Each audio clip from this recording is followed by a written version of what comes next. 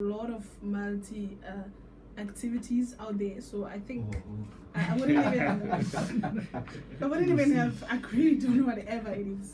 Hmm. Now, uh, you know, a very, a very, you know, uh, uh, you know, the, uh, shocking, uh, uh, you know, fact right there is that 20,000 learners fell pregnant in the year 2014. Hmm.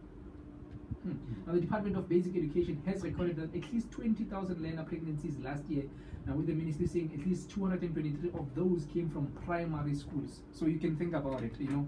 And uh, I know Dugza is coming through between uh, just about this time and 10 p.m. And I'm going to ask him as well that as a father, and how would he feel if you know uh, your teenage daughter or your teenage sister is actually pregnant? Because I mean, this law is saying, look, uh, as a 12 year old, as a 14 year old, you you I mean you've got a choice. You know, uh, you've got a choice of you know using a choice at that time. You know, you know, you know, uh, Mr. Karakara, I have to say this. Uh, putting a responsibility on the parents and the child Mhm. to say now they must begin to educate and be more close and so on and so forth.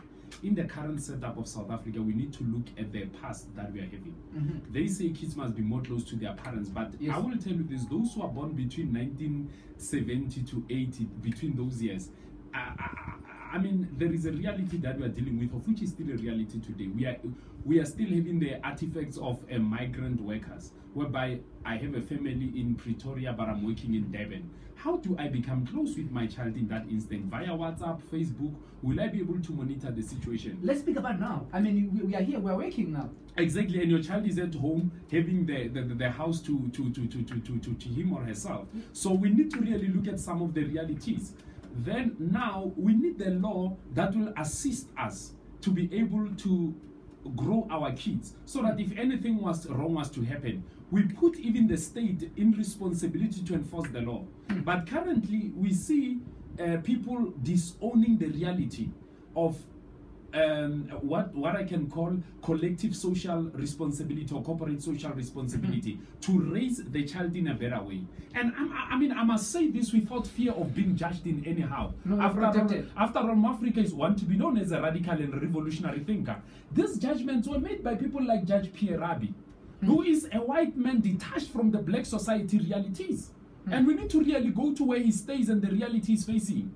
Believe you me, when we look at the decision he made and the implication to his children, and going down to the child who's an orphan in the township, the reality can chi- be the yeah, same. The child who grew up just like me. The child Exactly. you know, a single parent, a child who is, you know, such kind of realities, you must look at them. Even these parliamentarians, mm-hmm. we must look at the reality of them. Those 400 ones sitting there talking about the demet and the nonsense that they're talking about mm-hmm. all the time. Let's t- tell the truth. They are having all the resources at their disposal so that they can grow their kids in a better way and to take them to better schools and offer them a better environment. Mm-hmm. What about that one who is in a neighborhood of a shack? That shack cannot be locked at night, and the child can do any other thing. We need- law- look, law and, and, and I want to differ with what my sister said. Is the law? Is the law is the law? No, the law can't just be the law. We need to revoke some of the laws. We need the lobby groups. You know, we need the Protestant churches, the churches that will stand, the pastors who will stand and not just change snake into chocolate, Yeah, and yeah. fight this kind of the system, and be able to op- to be opinionated enough to advance it forward and take the offering money not to buy expensive clothes but to challenge the laws of the system and take them to court as well.